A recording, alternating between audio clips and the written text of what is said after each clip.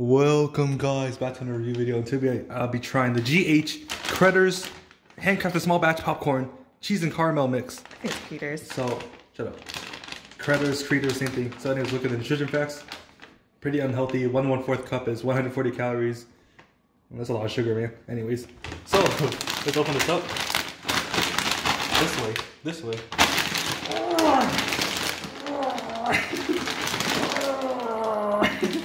So this, ba- I underestimated this bags and I had to use scissors. It's cut really sloppily because I only have one hand. I quit, bro. All right, so I got to open. Uh, had to use scissors. Let's look inside. First look. Oh shit, I have to shake it because all the caramel's at the bottom. All the caramel. Fuck. So I literally shook it upside down and did nothing. Like I shook it pretty vigorously.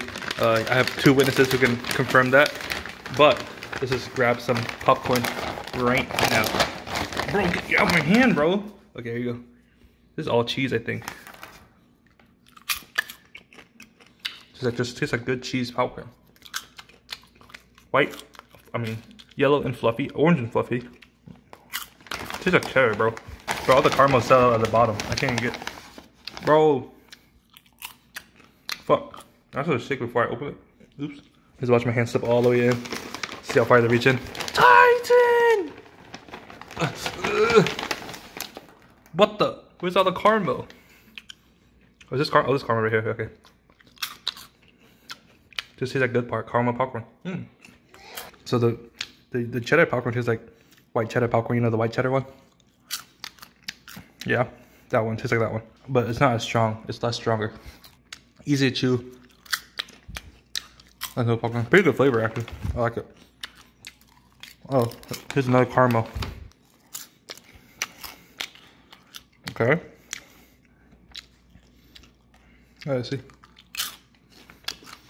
Caramel's actually pretty good. Hmm. I like it better than most caramel popcorn. Hold on. Why? Alright, so real test is trying them together, right? Because they're both in the same bag, or is just to enjoy separately? Let's see. Now, obviously, the caramel overpowers. Uh, it has a strong flavor, like rich-ish. I don't like rich flavors, but this caramel is pretty good. So, I rate this together or uh, like separately? I guess separately then together, huh? So, cheese popcorn, it's not as pungent as the white cheddar one, but yeah, it is fluffy. Ugh.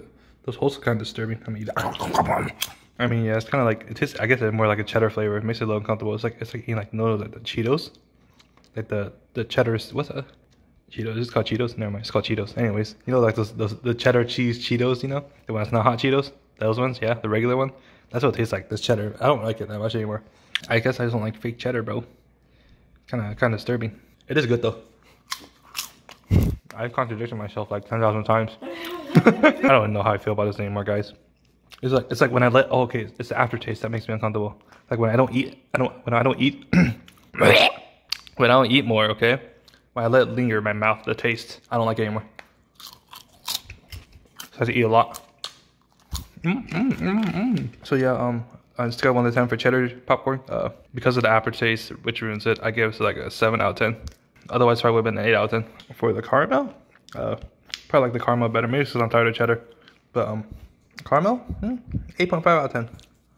Maybe, nine out of ten. Together, that's like a 7.5, 8, probably 8, 8, 8. But yeah, guys, that's it for video. Uh, if you like this video, consider liking, and subscribing. And as always, guys, peace out.